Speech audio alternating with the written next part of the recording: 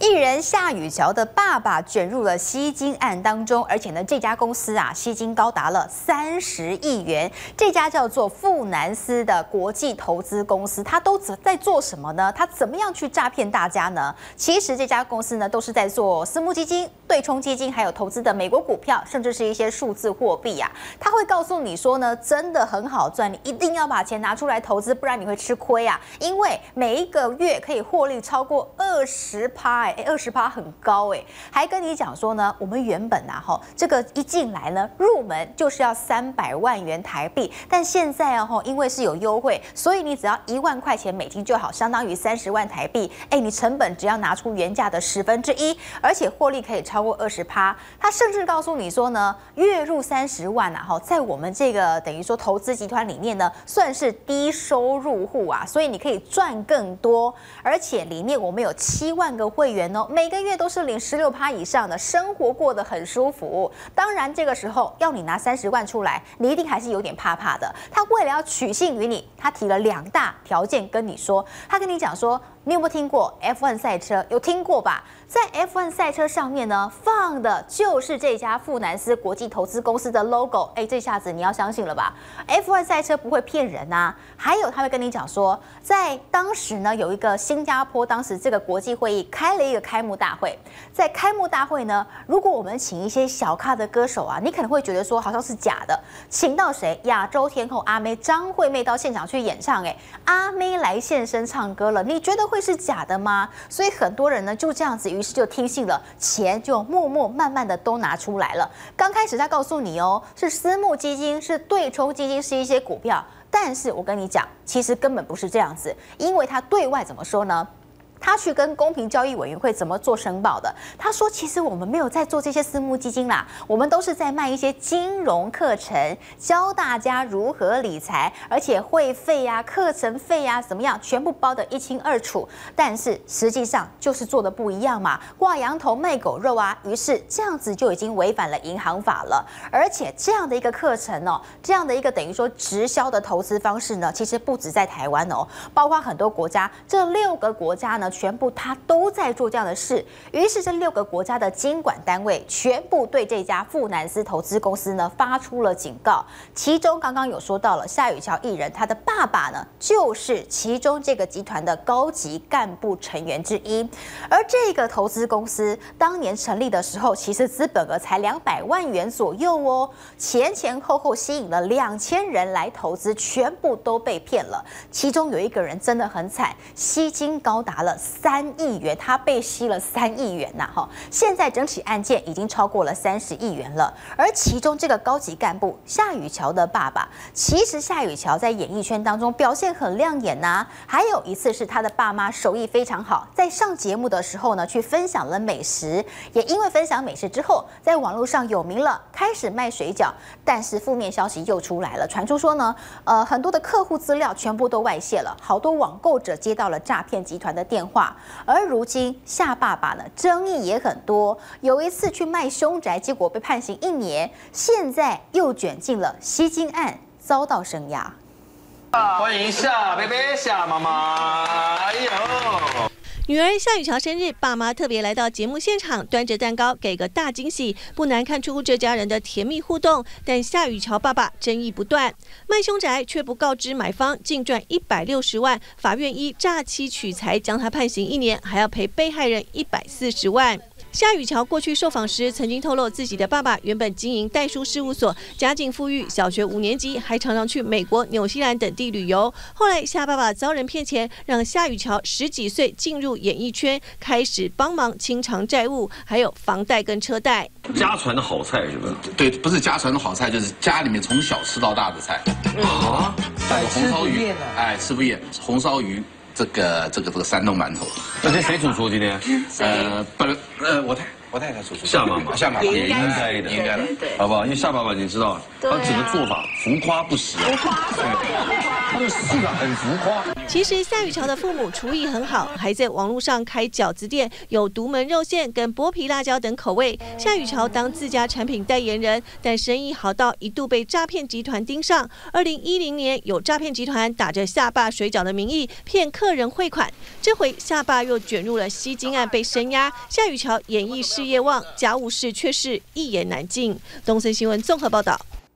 在网络上面，知名的老字号麻辣干面啊，这家大王麻辣干面呢，标榜的是地狱级的辣度，所以很多的网红啊、YouTuber 都会争相进到里面来挑战。据说呢，这吃一根面啊，你的嘴唇就会整个肿起来。如果你能够把一碗麻辣干面给吃光光，五百元你就不用付，就赚到五百块钱了。就是这家很有名的麻辣干面店，如今闹分家了。闹分家的是爸爸跟儿子，哎，结果你知道吗？这个父子。之间的交锋啊，比这个麻辣干面还要辛辣。那么当初呢，其实创始人是这个爸爸，叫做姜文雄啊。其实最原本、最原本，他是自己开了一间麻辣的干面店，但是后来收起来了。之后呢？儿子跟女儿就想说，那不然这样子好了，我们就各开一家干面店，然后各自去经营。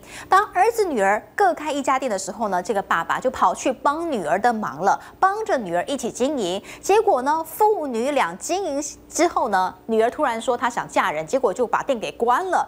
关店之后，这个爸爸又跑回到儿子这边，说要来帮儿子经营。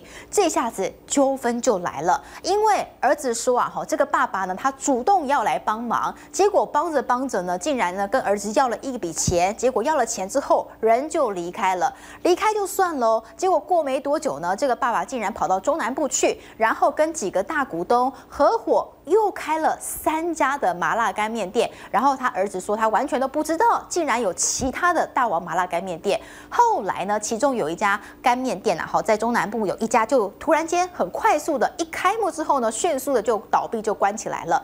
儿子就指控说，你看看，就是这个爸爸哈，跟很多的股东疑似就是呢要去吸其他小股东的钱，就是恶意倒闭的意思啦。那么接下来呢，爸爸这边怎么说呢？爸爸说根本就不是这样子，然后他要。反驳。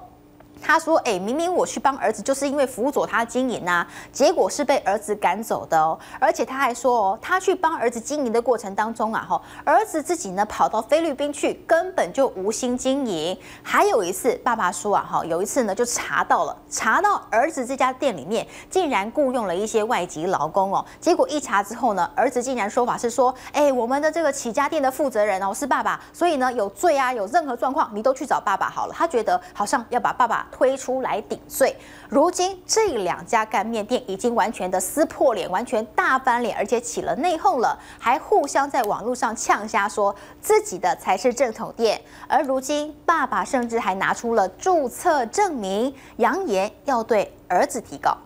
大王麻辣面号称成功率只有百分之四点五，掀起饕客争相挑战，如今却因商标注册爆出家庭纠纷。号称是救护车最常来的面店，平日中午用餐时段人潮也络绎不绝，但如今却惊爆家变，也让老字号面店浮上一层灰。熟练舀起辣椒，倒进锅中熬煮。第一代创办人姜文雄在一九九二年就在台北开设店面，迅速窜红，但因老板娘癌症病逝，关店收场。没想到儿子十年前也在附近用同个名字让面店重新开张，请来夫妻一起帮忙，两人却因为金钱问题闹得不欢而散。他把招牌换了没有用了，过一阵子我告他就把那招牌拿掉了。注册我是二十年前就注的了，以后要全省都要开的了。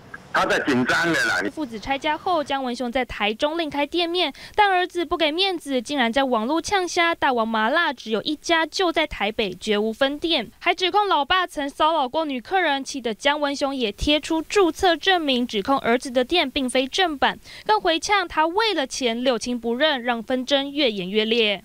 就还有在开别家，可是我不知道是在台中跟台北的在吵架。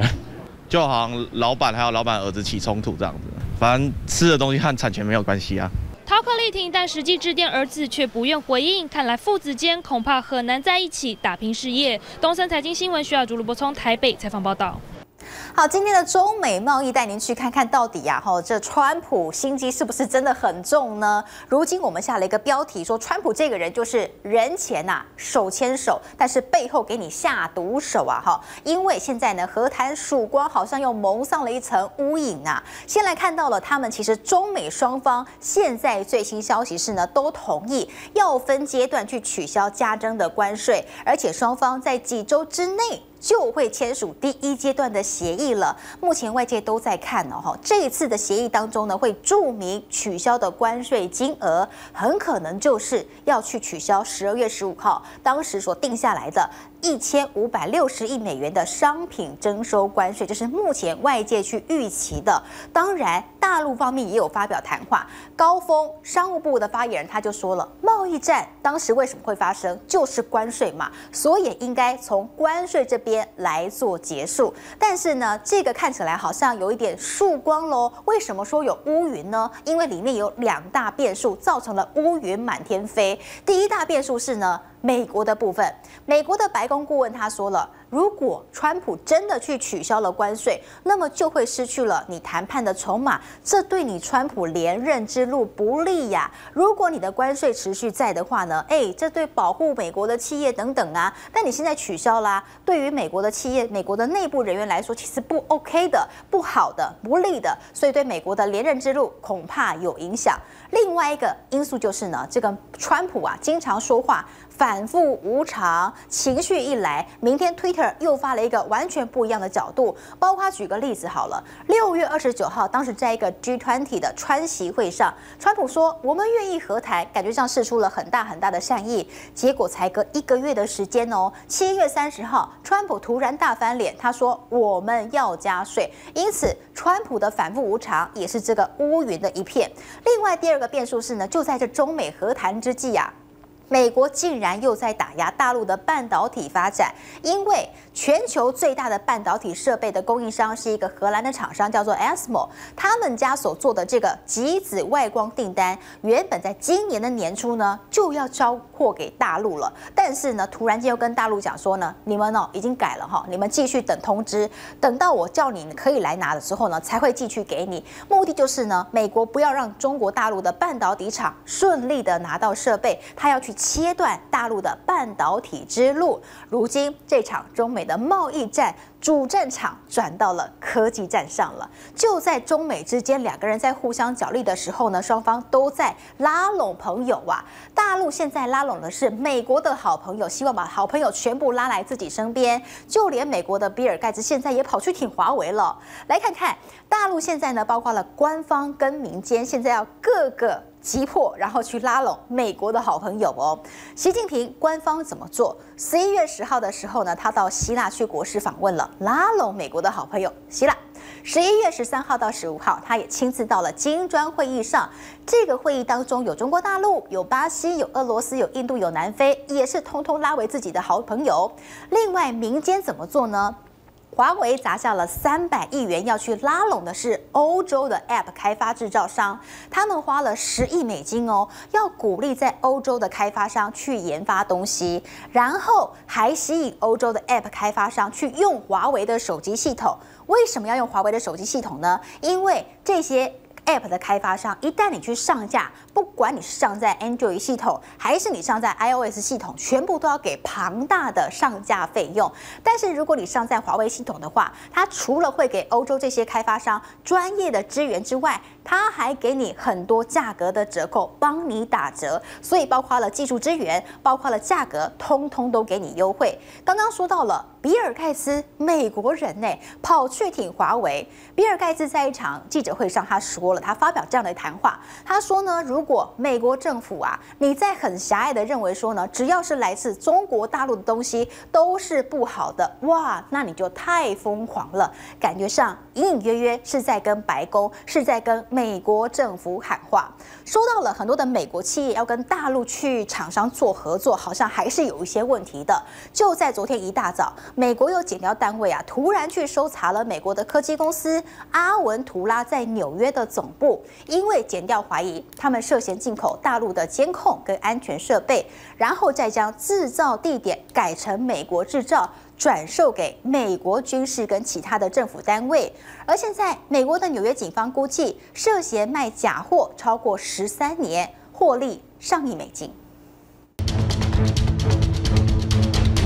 位于纽约这家名叫阿文图拉科技公司，七号早上突然遭检调单位突袭搜查，因为阿文图拉科技涉嫌进口大陆制造的监控和安全设备，却伪装成美国生产制造，再出售给美国军方、政府单位或美国私人企业。联邦检察官大动作，以涉嫌卖假货，将现任员工和离职员工共七人起诉。For more than thirteen years, Aventura has imported network security products from PRC manufacturers.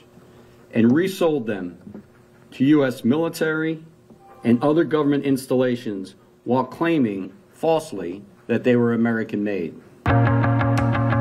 阿文图拉和大陆供应商涉嫌联手篡改大陆制造的监控产品标签，包括电路板上的标示和部分软体辨识码，再将这些设备从纽约甘乃迪国际机场进口。因为系统设备出现网络安全漏洞，让检调单位起疑心，于是大肆调查，结果竟发现阿文图拉涉嫌卖假货已经十三年，超过一千件精密电子设备，估计从政府合约赚进超过两千万美元，连同其他私人企业的八千八百万元获利。上亿美元，但检察官也表示，目前还无法证明阿文图拉的犯行幕后和大陆政府有关。There are no allegations in the complaint about the Chinese government itself, and we're not making any today. Obviously, it's a grave concern to the United States that infrastructure is compromised by hardware and software made in the People's Republic of China. 因为涉嫌国家安全，美国寄出华为禁令，没想到这次居然是美国人自己出卖国家，行径非常嚣张。东森财经新闻综合报道。